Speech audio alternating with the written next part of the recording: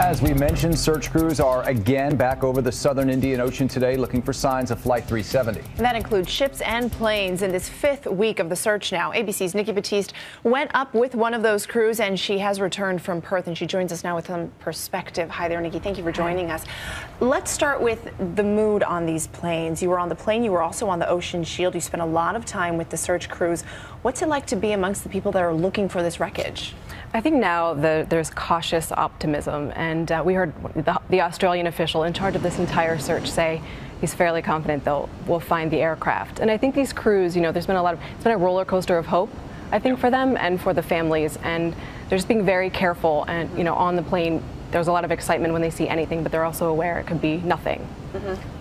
Talk a little bit about just the reality of being there. We hear about these roaring 40s, how crazy uh, violent this weather is, how far away from shore it is, how massive this boat is. Uh, do the pictures that are coming back to the, us folks sitting here do it justice? What's it like being there?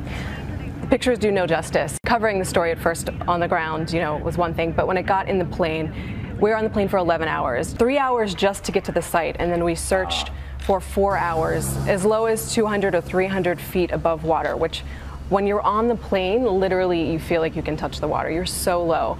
And the day we went out, we were covering an area the size of Connecticut, which is, is a large area. And, you know, the Ocean Shield, which I also went on for about an hour or two, is is massive. It's brand new. It's hi highly equipped with very sensitive equipment. And, you know, it's the crew I was out with said they'd never been a part of an operation so massive 15 aircraft, you know, 14 ships, every, you know, everyone putting everything into this trying to solve the biggest mystery in human man or in mankind, which is what um, Angus Houston said recently.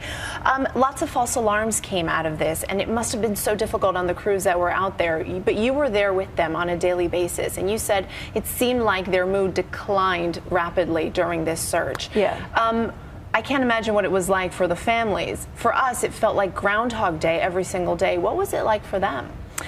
I think, you know, in the very beginning, there was a lot of hope. I know one of the first crews that we flew with thought, we're finding this plane. It was probably a weekend.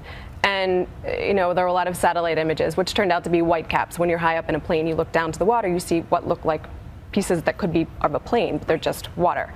So the, the hope sort of waned. And then um, in the recent days, you know, they, the frustration was there's a lot of trash in the Indian Ocean. And when I was out with the plane, you know, they'd see an object and they have to decide among themselves whether or not to take the time and go look at it and take a picture. So they were they would get very excited. They're also like, well, we've had so many false alarms. They don't want to get the hopes up of these families. And I think right now everyone's just being really careful about that. Let's wrap up with that thought. Now we have the latest, best clue yet. Um, there really is a strong feeling this time. It's hard not to be incredibly optimistic when you're hearing what's coming out of this. How do you feel about those pings that we're detecting and the idea that we, we may find some debris soon? I think it's probably the most hope, as I said, that we have to date. And I think we just have to wait and see. Time is running out, so I think time's very crucial, and they're just trying to narrow down the search area. But hopefully, um, the crews will find the black boxes and some answers for these families. Absolutely. Thank you for that perspective, Nikki. We sure appreciate it. Nikki Battiste, thank you.